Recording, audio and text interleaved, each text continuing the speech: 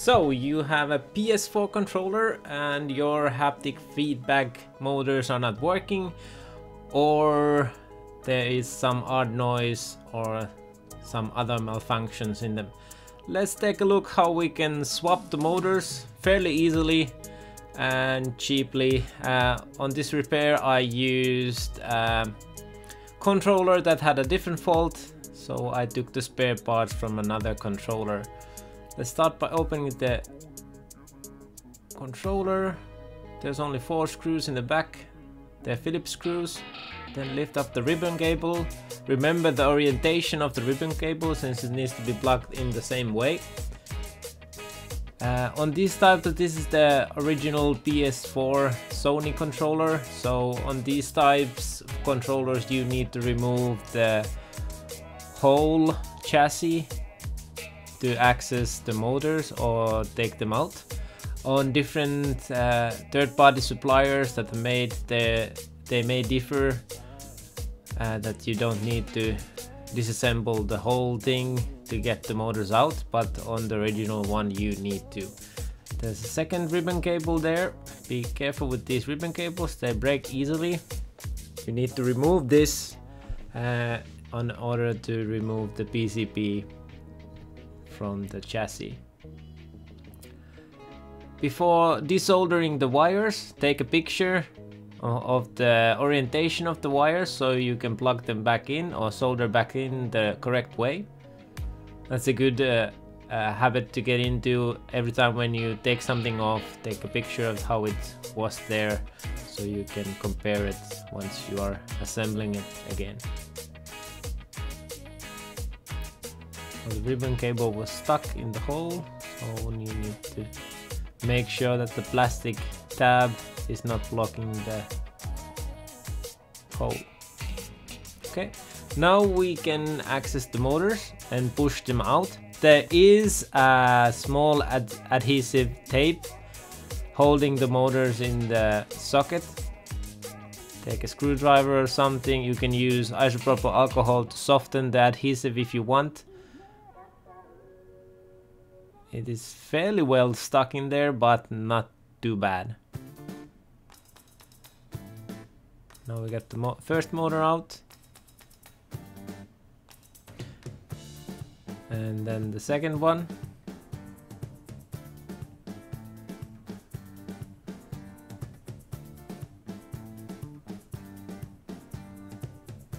Now keep in mind the motors are different. Uh, the uh, other one has only one blade and the other one has four. So put the correct motor to the correct place.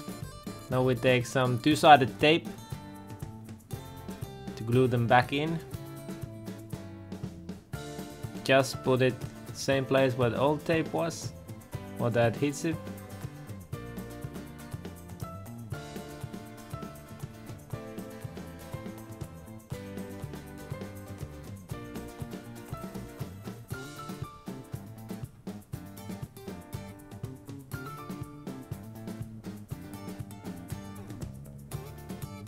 And same thing with the other motor. This is there just to make sure that it stays in place and these replacement motors has uh, also some kind of dampering material on the front so that it doesn't give up vibration hitting the axle controller chassis.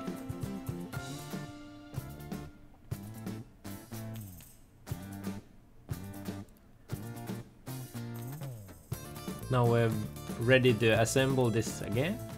It's a good time also if there is any dirt or grime on the controller, this is a good time to clean it up a little bit.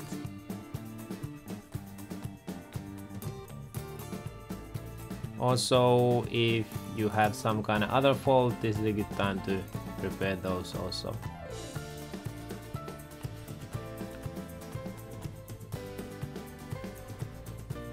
Any dirt or grime near the analog sticks holes will cause stickiness to the sticks or anything like that. It's a good time to clean it up. I use isopropyl alcohol and a toothbrush to clean the grime and dirt off the holes.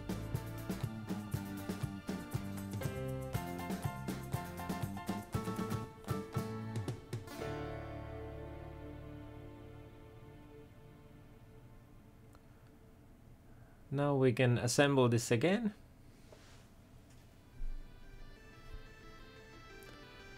Remember the small ribbon cable comes through the hole.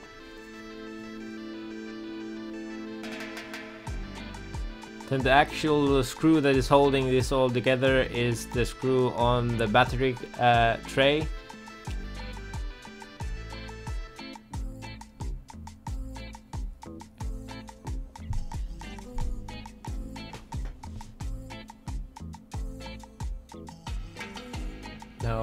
Check that all the buttons are working, that there is not uh, misaligned or anything like that. Once that is done, well, all good.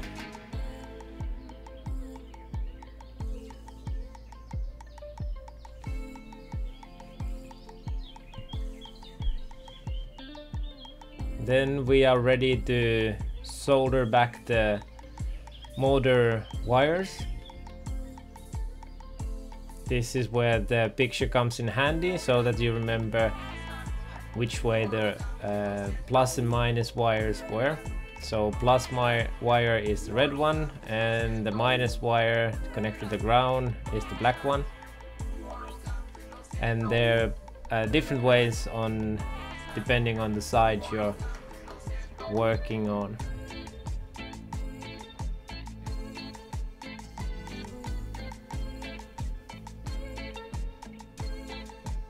It's a bit tricky, they're small wires and it, the contact points are small so I use a tweezer. You can also use your hands depending on which feels better for you.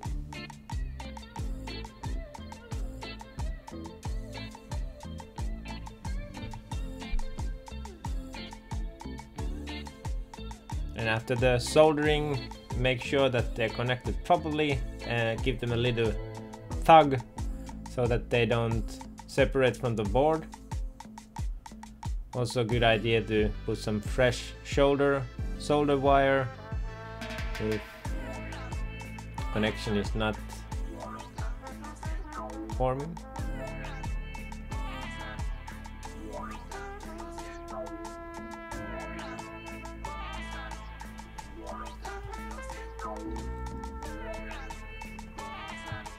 Now connecting back the battery.